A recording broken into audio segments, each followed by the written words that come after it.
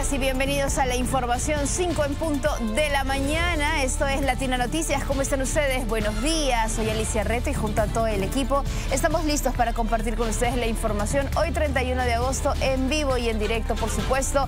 Gran jueves es el hashtag que activamos en este momento para interactuar con todos ustedes a través de nuestras redes sociales, pero también a través de nuestra plataforma digital latinanoticias.pe, la que puedes visitar en cualquier momento para estar totalmente informado Código QR también ya a tu disposición para que nos mandes tus fotografías o algún mensaje para que puedas estar en contacto con todos nosotros. Vamos a hacer una breve pausa comercial.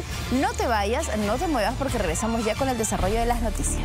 Y ahora también es momento de compartir con ustedes información deportiva. Con el marcador a favor, Alianza Lima se prepara para disfrutar la final de la Liga Femenina. El encuentro será este sábado ante Universitario de Deportes. Las blanquiazules esperan el lleno total del Monumental por el bien del fútbol femenino espaldas de Lionel Messi haciendo noticia y ahora les cuento qué pasó en el tercer día de trabajos en La Videna, donde se llevó a cabo ya con el grupo completo y con la novedad antiespía que viene ya formando, que va tomando forma en los campos de entrenamiento. Vamos a ver de qué se trata.